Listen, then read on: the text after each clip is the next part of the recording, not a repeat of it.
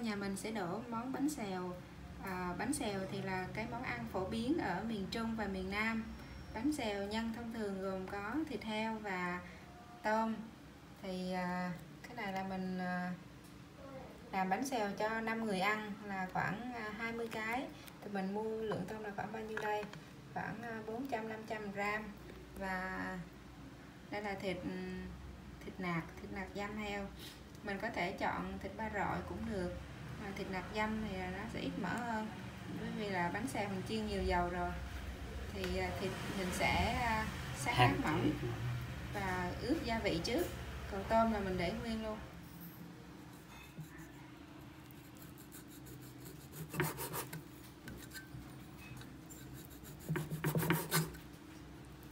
Thịt mình à, càng cắt mỏng thì nó càng thấm gia vị bánh xèo à, mỗi vùng miền sẽ có một cái loại nhân khác nhau. Ví dụ như ở miền Trung tôm cá nhiều thì à, có nơi họ còn đổ bánh xèo nhân với lại cá cơm. Tôm mực ở miền Tây thì có nơi làm bánh xèo nhân thịt vịt.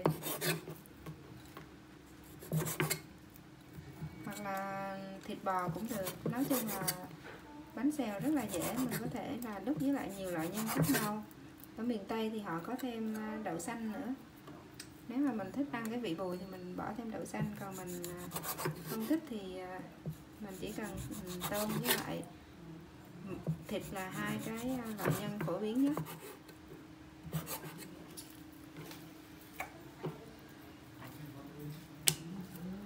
Bây giờ mình sẽ ướp thịt với lại các loại gia vị, gồm có là nước mắm.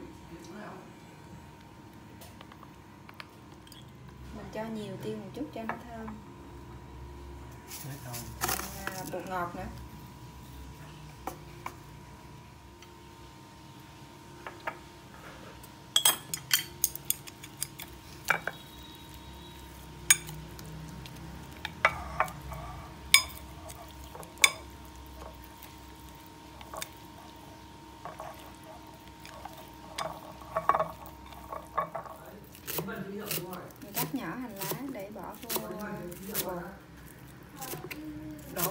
thì bao giờ cũng phải có hành lá thì nó mới thơm.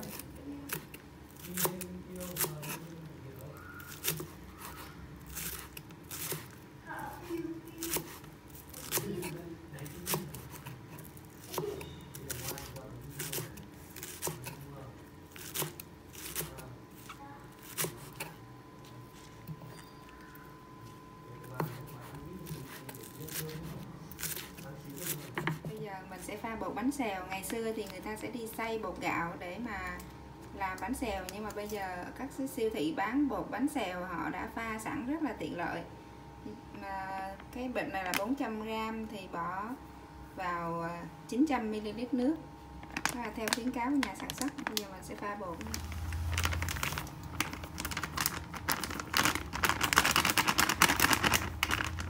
các bạn nhớ là ở trong bột có sẵn một cái gói bột nghệ rồi. Bột nghệ vô chung. Đừng nói nha. Cái này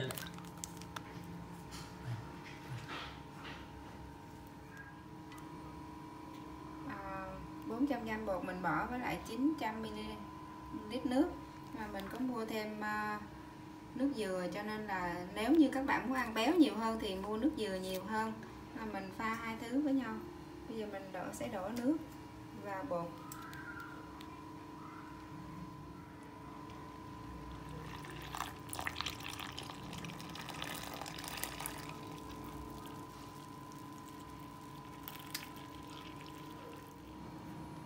bây giờ ở ngoài chợ họ bán nước dừa có máy ép sẵn rất là tiện lợi. Cái nước dừa tươi nguyên chất như thế này nó sẽ ngon hơn là mình mua nước dừa sẵn ở trong siêu thị rất là nhiều. Rồi bây giờ mình à, pha thêm nước dừa vào bột. Rồi.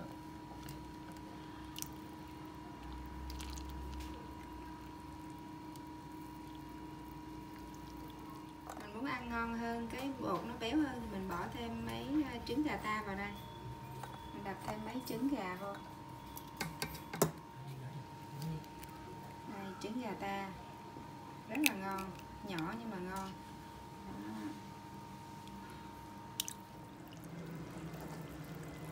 Mình vậy cho tan đều bột. đó.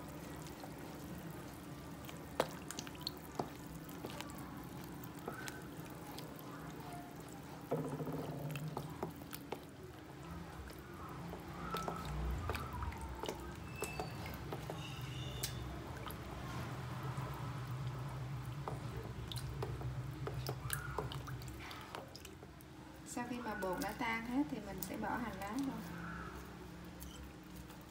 Tùy mình thích ăn nhiều hành lá thì ăn. Còn à, ít thì mình bỏ ít hơn. Nhưng mà phải có hành lá thì nó mới thơm được.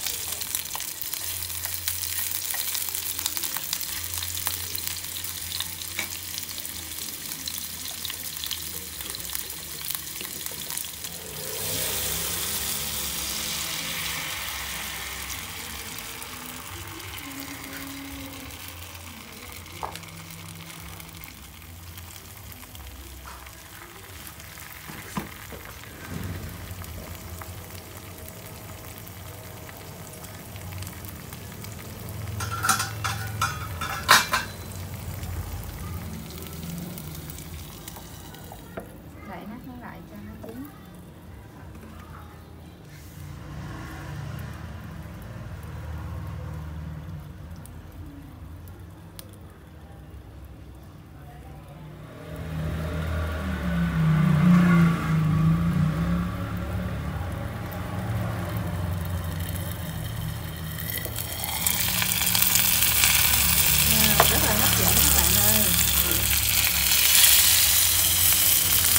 Bánh thì cái bánh trứng bột nó kia xèo xèo, cho nên là người ta dân gian mình gọi luôn là bánh xèo, rất là dân dã